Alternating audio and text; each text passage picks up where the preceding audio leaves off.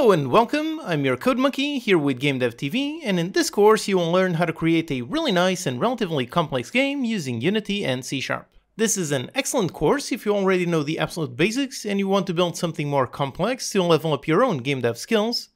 By going through this course and making this game, you'll learn how to manage and organize more complex projects, how to make sure to write good clean code so the project is easily understandable and expandable, you will learn about C-sharp generics, delegates, events, how to use prefab variants, animation retargeting, enemy AI, how to create a proper grid system and do all kinds of logic, learn how to implement A-star pathfinding, play around with ragdolls, physics, and tons tons more.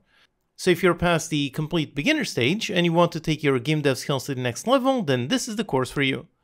Even if you're not interested in this specific game genre, you will still learn a lot that will help you in building whatever games you want to make. About me, I'm a professional indie game developer with several successful games published on Steam covering a wide range of genres. I've been programming for over 20 years and using Unity for almost 10. Also a couple of years ago, I started a YouTube channel making free tutorial videos to share my knowledge to help you learn how to make your own games.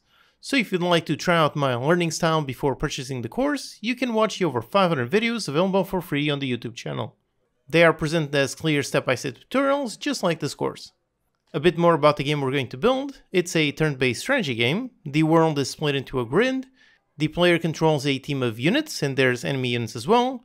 Each unit has several action points per turn. Those action points can then be used to take all kinds of actions. You can do some simple movement, or shoot an enemy, or throw a grenade, open a door or a chest. Like I said, the main focus with this course is learning how to write good, high quality, clean code, so adding more enemy types, more actions, more maps, and more of everything, all of that is super easy to do.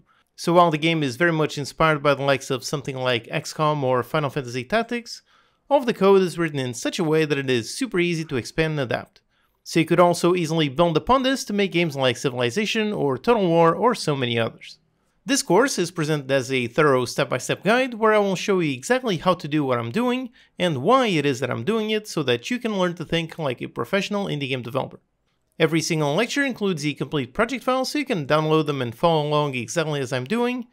If you feel lost or confused at any point in the course, make sure you post your questions and I will be there to help with whatever issues you have. Alright, so go ahead, join me on this course and learn how to take your game dev skills to the next level.